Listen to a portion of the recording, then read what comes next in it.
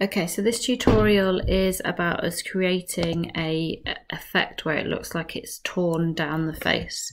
So the first thing that you need to do is make sure that you have saved yourself a portrait, whatever you're going to use, whether it's a photo of yourself, and then got yourself um, a piece of torn paper. You can either do your own and photograph it on a black background or a dark background, or you can just save one of these particular ones. So we're going to open up Pixlr um, and then we're going to open up Pixlr E and I'm going to create a new one. So um, in fact, I'll just open my image because I have downloaded it. So I've chosen um, this picture here to do a teardown. The next thing that I need to do then is open up my next image, so my torn image. So I'm going to go to layer and I'm going to go to add image as layer and then I'm going to get my torn piece of paper which is here. So I'm going to move it about so it's over the face. I'm just going to change the opacity so I can see where abouts I'm placing it. So I think this is quite a nice placement here. So I go right down the middle of the page like that. Okay, so the next thing that I'm going to do then is I'm going to get rid of the white side. So I'm just going to go onto this little tool here, which is the magic wand. I'm going to make sure that I'm on the layer that has the torn element and that's highlighted.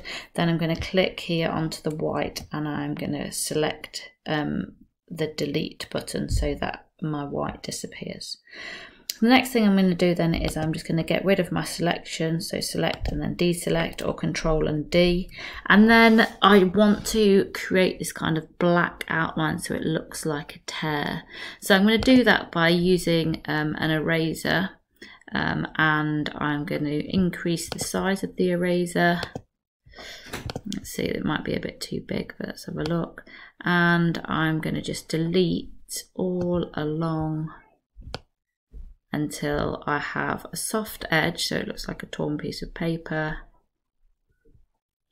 Um, again, you might need to keep changing the size of your um, eraser tool here, but I'm just going to do it so that it is like that. Okay, so I might want it a little bit closer.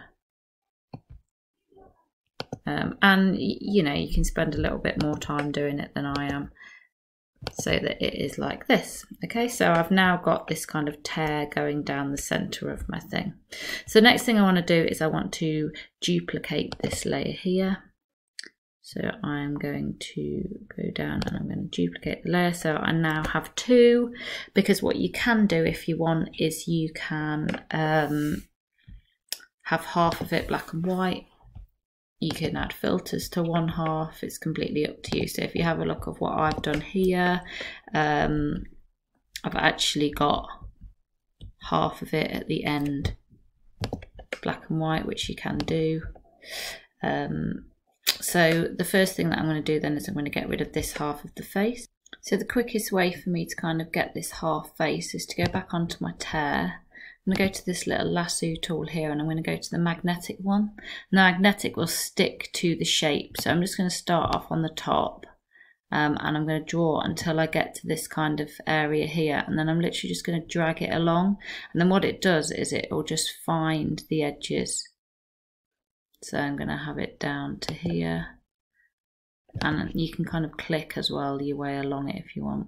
Till I go back to the start and then that bit here is highlighted. If there's any that you've kind of missed, so I can see here that it's just missed a bit, I'm just going to add to my selection. And again here.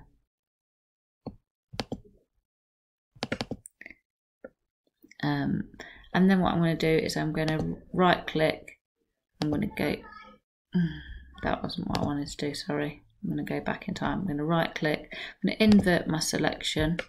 I'm going to go to one of my faces and then I'm just going to press delete. So now if I was to hide this, you'll see that um, I've only got a half face on this one here. And then I'm just going to go to select and deselect. And then with my half face just here, I'm going to go to adjustments and I'm going to desaturate so that it's black and white um, and that is how I create my torn face. If I zoom in, there are bits, if you have a look, that I need to sort out, and I should have done that when I had my um, magnetic lasso, but you'll have a bit more time than me, so you can um, spend a bit more time doing it. But this is the torn face look.